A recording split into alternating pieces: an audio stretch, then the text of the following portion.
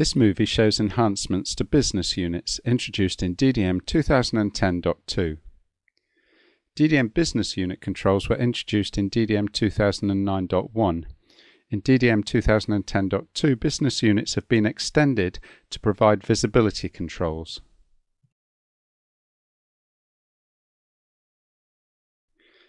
Business units were introduced to extend the basic access controls for larger organizations.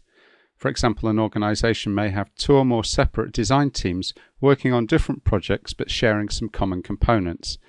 It's important that members of one team do not modify objects belonging to the other team.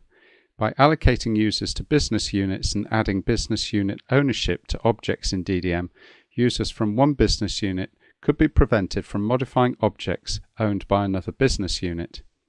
In DDM 2010.2, these controls have been extended to control visibility of items based on business unit ownership. Objects owned by one business unit can now be hidden from users of another business unit. This might be useful in situations where some users are working on a project containing sensitive information that needs to be hidden from the other users. Here we're logged into DDM as a user, Designer 2. Currently business unit controls are not enabled.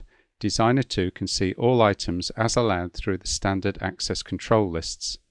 Before enabling business unit controls, we will add the owning business unit attribute to the search results window.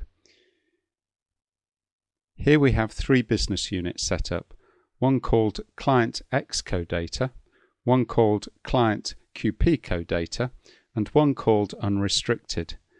The client business units represent data that may belong to a client that is sensitive and should be hidden from users who do not work with this client. If we run a search against project folders, again we can see that five of the projects belong to client Xco. Designer 2 does not work with this client.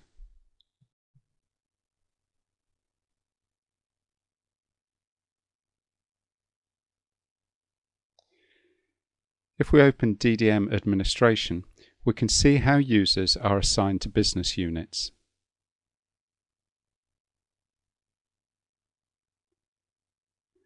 We will now enable business unit controls.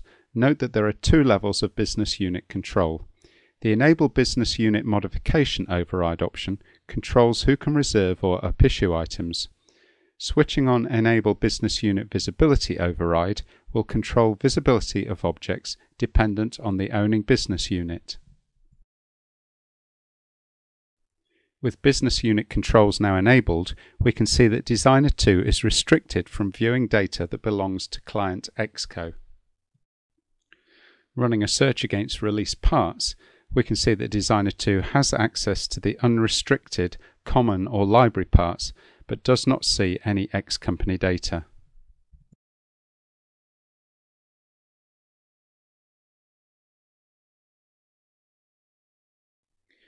If we now log in as Designer 1, we can see that this user has access to data from both business units. Designer 1 belongs to both business units and can work across business units. Although DDM items can only be owned by one business unit, users can be members of more than one business unit, allowing visibility across business units. This also allows a user to transfer ownership of objects from one business unit to another.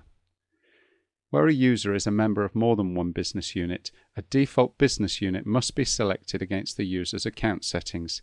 In this way, any new items that the user creates will be automatically assigned to that business unit.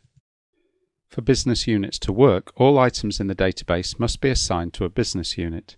A business unit updater is provided in the administration tool to assign items including folders to business units.